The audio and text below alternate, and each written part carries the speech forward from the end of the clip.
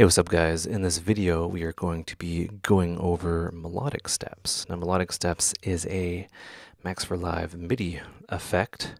It is a very fancy arpeggiator, and you can get some really kind of cool things going on. Uh, there could be a step sequencer, uh, polyrhythm maker thing, randomizer, and uh, it does all sorts of cool stuff. I'm going to add in Poli and just give that a thing like that.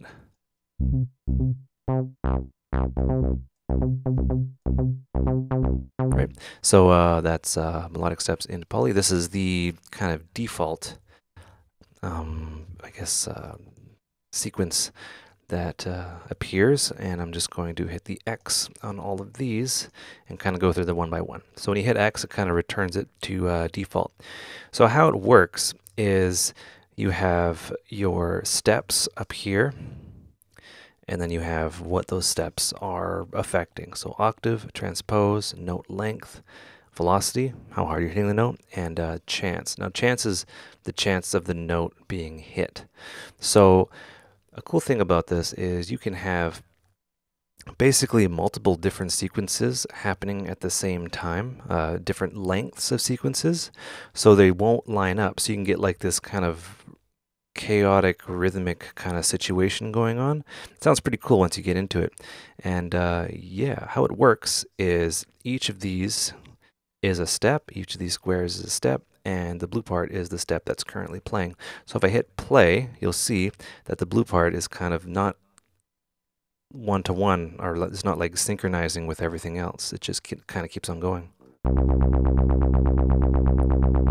right? So you can get some cool stuff there. If I, you know, if I hit, if I right click and I select the length on each of these, yeah, it'll, it'll be synced.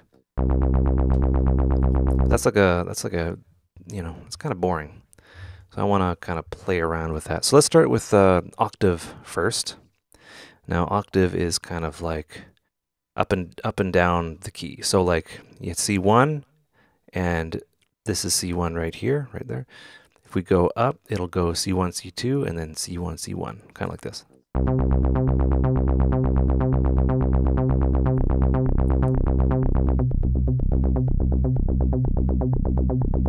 All right, so we've got a cool sequence going on there, and it's, you know, four kind of things per pattern. Uh, four, sorry, uh, my brain. It's uh, kind of synchronizing with the music and it's happening with the beat. I'll just let you know what that sounds like. So each one of these is a 16th, right? So each one of these squares is a 16th. When you got four of them, you got a quarter. So this is basically why it sounds the way it does with the beat playing. Sounds kind of cool. And this is uh, the octave, and you can do cool things on this side right here. You can just randomize. Can randomize slightly. Right, I'll just turn that off. And that is uh, octave. So this is kind of like um, an arpeggiator. So an arpeggiator would be like a pattern kind of like this. Right, the, the, the default Ableton ARP would sound like that. It'll just go up or up, down, or down. You know what I mean? But, you know, you can kind of change it around. Right, and that sounds cool. So I hit X, reset it. Transpose. Transpose is different. Um, it kind of doesn't do full-on octaves. It does kind of notes up and down the keyboard in the scale of your choosing. So I'll hit minor and uh, whatever. I'll just, yeah, do whatever, hit the root note. So uh, down all the way down here is the root note, and you can go up um, and down and just do some stuff like that. So I'll hit a, I'll hit a root note. This is B. And I'll make this a little bit longer, like that.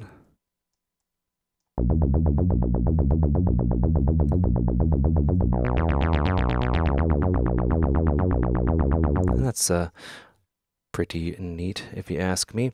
And uh, yeah, that's the uh, the transpose, and we can randomize like so. And we can also randomize the octave. And uh, these will kind of be playing next to each other. Sounds a little boring, but what we can do is we can shorten it to three. So this will reset more than this, and it'll take a while for it to like kind of line up again.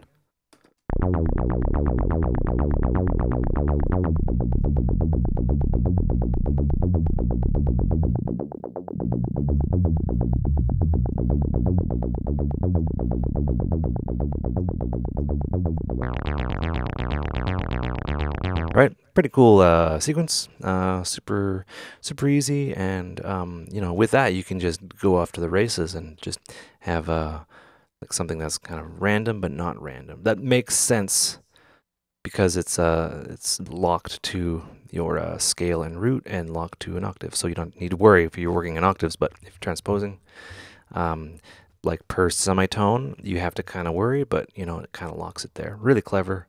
Um, I enjoy that. So uh, from here, depending on the, depending on the patch, you can have note length. That'll kind of go up and down. I don't know if this patch right here will do it.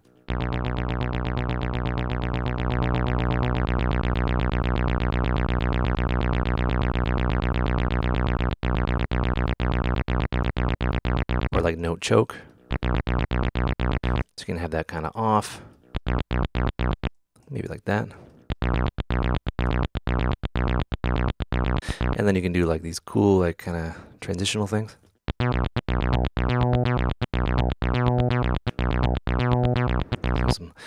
Interesting uh, sticky note things going on there, but yeah, that's that's basically the the note length. It's how long the uh, the note length is, and it can be kind of short, all the way short, which is off, or long. It'll kind of just take up the whole thing, which is pretty cool. Uh, velocity uh, is how hard the note is pressed. You can have like a cool kind of sidechainy thing. Or just have like a long kind of randomized uh,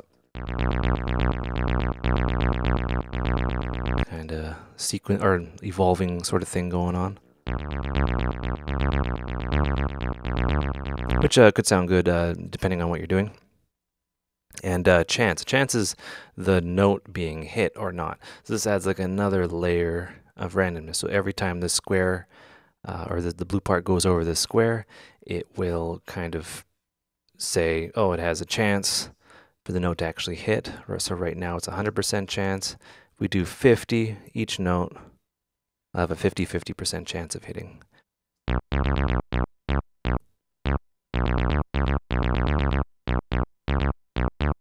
Right. So with that, you can you can kind of do some interesting uh, gated things with the chance um, option here. So yeah, if you have a 100% chance and then 0% chance, it's basically a note on and note off.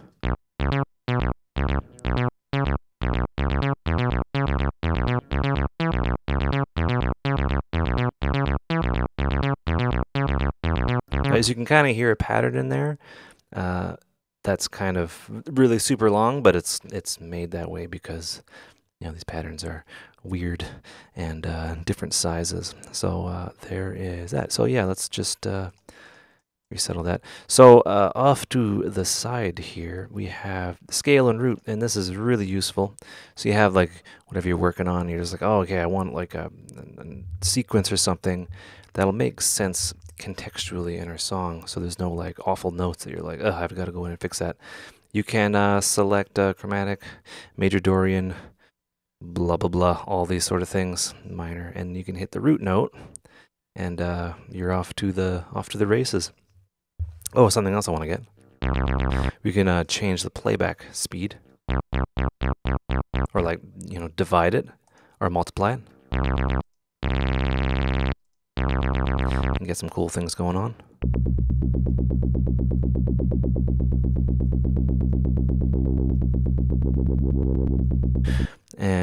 Have uh, triplets.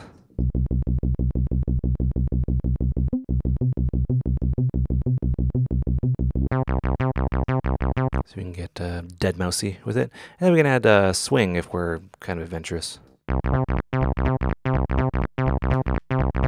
Which adds like another dimension to the whole thing, which I think is uh, pretty neat. Resync, uh, if you hit this, will automatically reset all these blue parts to the beginning. And uh, MIDI uh, will dictate so that like, okay, no root note is going to play, or you, lo you lost the ability to select a root note. So when you play it on your keyboard, your push or whatever, that's when the sequence will start.